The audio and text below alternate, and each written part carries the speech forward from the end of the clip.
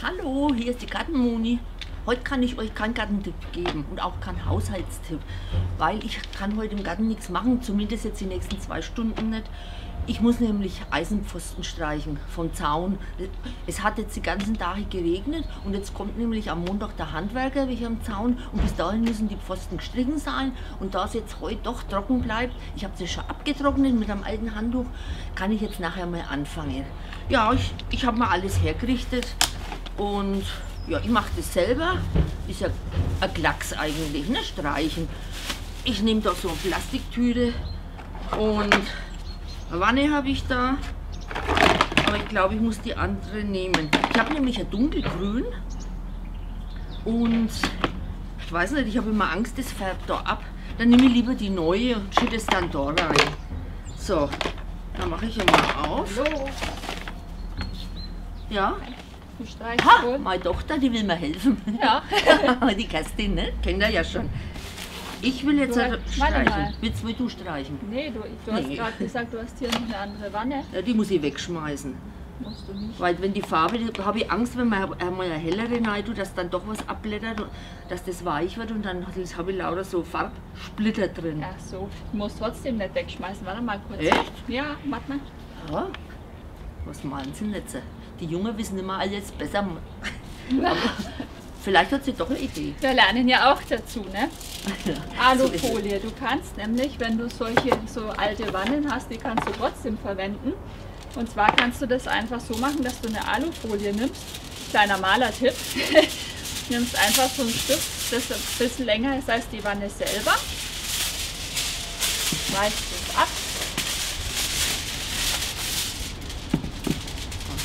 Und jetzt? Und jetzt legst du die einfach hier rein.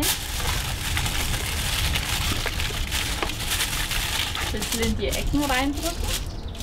Ah, vorsichtig dran, Und ne? dass, dass er halt nicht reißt. Ne? Ja. So, und dann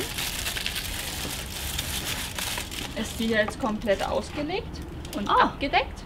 Und jetzt kannst du hier deine Farbe reinschütten und ganz normal damit malern. Und wenn du fertig bist, kannst du nämlich einfach nur die Alufolie runter tun und wegwerfen und kannst diese, diese Wanne Und- selber, die kannst du x-mal verwenden, bis sie Ah, zerbricht. das ist stark. Das ist ein guter Tipp. Hm? Ah, woher, woher hast du den Tipp? Na, wir haben doch fürs kleine, kleine Geschichte dazu. Mein, mein Freund Andi und ich, wir haben einen alten, was heißt einen alten, einen ausgedienten Rettungswagen zum Wohnmobil umgebaut. Da setzen wir euch oben mal den Link zu unserem YouTube-Kanal rein, könnt ihr mal anschauen. Und da wir ja auch die ganzen Möbel selber gebaut haben, mussten wir extrem viel streichen. Und da sind wir auf diesen Tipp gestoßen und haben das bei, bei den ganzen Malerarbeiten angewandt. Und das war echt ein Segen. Also wir haben eine einzige Wanne benutzt für die ganze Zeit und haben immer nur die Alufolie Ah, ausgetauscht. das Also ist klasse. echt Na, das ist gut. Na, Ja. dann, dann schüttel ich jetzt mal, dann muss ich es mal aufmachen. Aber dann, also ich habe jetzt Fingernägel dran. Wenn man in die Ecken reingeht, dann muss man dann aufpassen, dass Ja. man die Alufolie nicht beschädigt. Ne? Ja, Weil mir ist ja auch mal passiert, dann, dann geht die Farbe zwar durch und landet auf der Wanne, aber du kannst ja dann trotzdem, lässt es einfach trocknen oder wischt es dann wieder aus und tust halt die nächste Folie dann wieder drüber. Du kannst die Wanne dann trotzdem weiterverwenden. Bloß währenddessen kann es halt sein, dass da ein bisschen Farbe wegläuft. Also am besten ist es, wenn man schon beim, beim Reinlegen der Folie immer in die Ecken ein bisschen vorsichtig reindrückt. Dann passiert es erst gar nicht. Jetzt bräuchte es bloß noch aufgehen. Ne? Ja. So, jetzt. Ah ja, die muss man aber dann trotzdem noch umrühren. Da habe ich dann wieder einen Tipp für euch. Wir essen ab und zu Sushi und da gibt es ja diese Holzstäbchen dazu. Und die sind echt stabil. Die nehme ich oft für kleine Pflanzen als Stützstäbchen. Und da kann man auch schön die Farbe damit verrühren. So. Da rein. So. Außerdem habe ich ja Han- Einweghandschuhe auch da, ne? die müssten wir erst einmal anziehen. So, und da rühre ich jetzt und dann schütte ich das einfach da rein. Genau. Ja mit so einem Schaumroller, sehe ich gerade. Ja. Ja, ich habe aber bloß jetzt einmal erst eine Stunde Zeit, dann muss ich mal aufhören und dann mache ich dann später weiter. Was magst du denn mit dem? Ach, du magst später weiter. Ja, Ja, normal ist bei, bei den Schaumrollern ist ja so, dass die, die Farbe dann hintrocknet und wenn du es dann wieder weiter benutzen willst, dann bröckelt die ab und dann hast du diese ganzen Brocken Ja. da dran ja, hängen. das du- ja, ich nehm, muss halt eine Kamera. neue nehmen. Neue. musst du auch. Da habe ich nämlich auch noch einen Tipp für dich.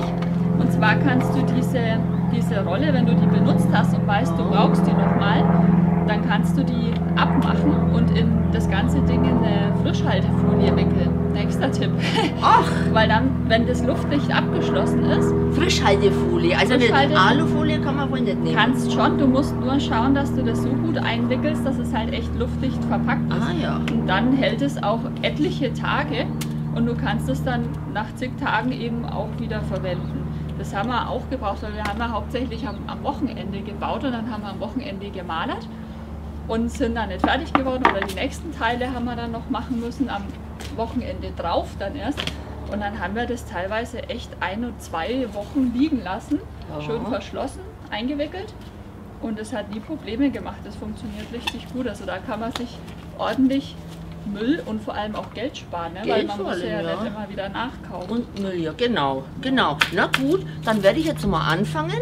Dann weiß ich jetzt, wie sparsam, dass ich arbeiten kann. So. Und dann, das ist klasse, weil dann brauche ich mir nicht immer wieder neue Wannen kaufen. Ich mache das nämlich wirklich nicht gern. Das ist mir einmal passiert. Ich weiß aber jetzt nicht mehr, was das für eine Farbe war. Und dann gebe ich eine helle Farbe rein. Vorher war eine dunklere drin. Und dann hat sich das ein bisschen abgeblättert. Und dann habe ich die ganzen, äh, die andere Farbe mit drin gehabt und habe es wegschmeißen müssen. Aber das ist toll. Also gut, ich fange an.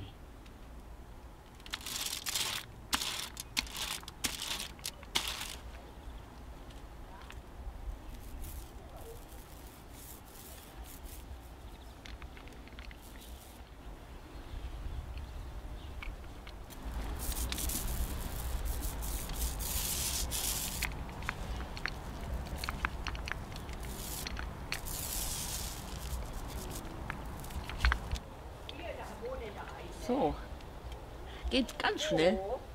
Vielleicht werde ich sogar in einer Stunde fertig. Aber ich probiere das trotzdem mit der Frischhaltefolie. Bin ich neugierig. Ich bin immer neugierig. Ich muss immer selber ausprobieren, was ich auch empfehle. So, ich muss jetzt einmal Schluss machen. Ich habe noch drei Pfosten, die mache ich dann später.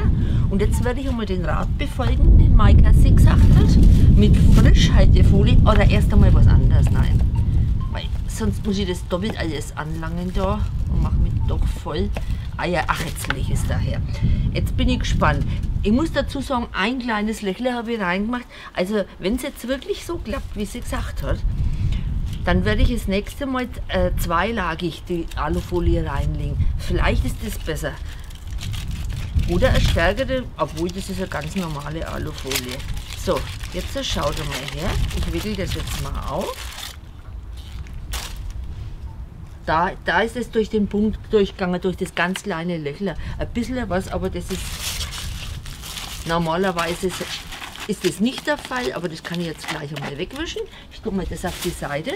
Jetzt ziehe ich mal meine Handschuhe aus und fahre drüber, damit ich es euch beweisen kann. So, schaut her.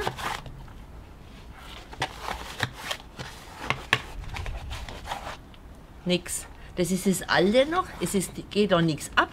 Normalerweise geht eben keine Farbe durch, aber irgendwie bin ich da hingekommen und habe damit ein kleines Löchel gemacht. Ist halt es sind ein paar Tropfen durchgegangen. Ist jetzt nicht schlimm, aber das wische ich ab und dann kann ich das tatsächlich immer wieder verwenden. Ich habe noch zwei neue, also die werden ewig neu bleiben mit der Alufolie. Ein super Tipp, Kerstin, muss ich sagen. Man kann von den Jungen auch noch was lernen, gell? Ja. Gut. Dann räume ich das aber auf die Seite und nachher lege ich wieder Al- Alufolie rein. Das Mal mache ich es dann doppelt und dann mache ich meine Pfostenkraft fertig. Und das da, das brauche ich ja wieder dazu, diesen Schaumroller. Und da habe ich mir die, äh, die Frischhaltefolie geholt und sie hat ja gesagt, weil jetzt ist sie gerade nicht da, sonst hätte sie es ja selber nochmal machen können. Man soll es luftdicht einpacken. Mache ich mal den Griff mit dazu. So, wickel ich das einmal rum, dass da na, kommt nichts raus. So, jetzt habe ich es einmal ganz dicht zugemacht. Und so bleibt es weich. Also der Schaumroller bleibt weich und ich kann den wieder verwenden. Auch wenn ich das erst in ein paar Stunden mache oder auch erst morgen.